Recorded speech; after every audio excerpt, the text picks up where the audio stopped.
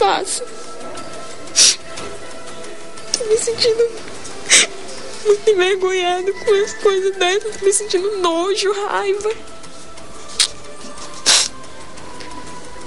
Nunca pensei que uma coisa dessa ia acontecer comigo. A adolescente de 14 anos foi violentada pelo próprio tio.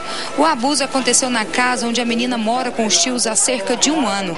A garota veio da cidade de Porangatu, que fica a 395 quilômetros de Goiânia, para estudar. O Wellington Rocha de Almeida aproveitou que a mulher dele está de resguardo do terceiro filho no hospital materno infantil, ameaçou a garota com essa faca e cometeu o crime. Eu fui no tanque, lavou umas vasilhas, foi que ele pegou a faca e a filha dele mais nova veio atrás e falou faca. E quando eu virei, ele já grudou no meu braço e me pegou e eu me solto. Ele falou: se você gritar, eu te mato aqui agora. Se você gritar, eu vou te matar. Aí eu falei assim: Wellington, para, vamos conversar. Ele falou: não, vamos começar, vamos pro quarto agora. Eu falei: Wellington, não, por favor, não faz isso. Aí ele me pegou no colo e eu, enquanto isso, eu tava batendo nele, falando: me solta, Wellington, me solta. Aí ele pegou e foi, me levou pro quarto. Chegou lá no quarto, ele me mandou eu tirar a roupa. E se eu não tirasse a roupa, ele me matava.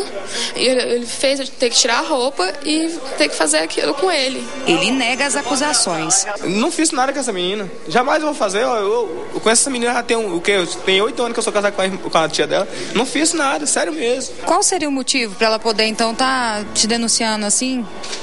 Puxa a vida dessa menina pra vocês verem.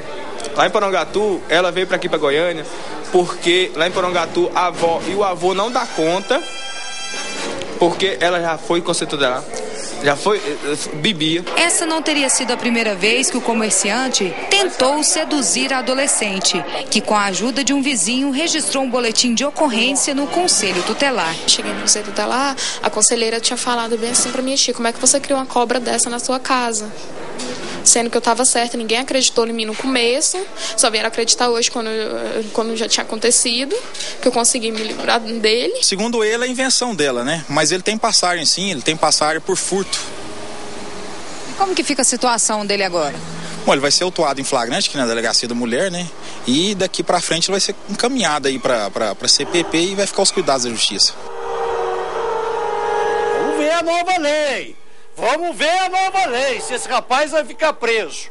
Pela entrevista da menina aí, pela entrevista da menina, parece que ela está dizendo a verdade. O rapaz ficou muito bravo, né? Agora, basta a polícia investigar.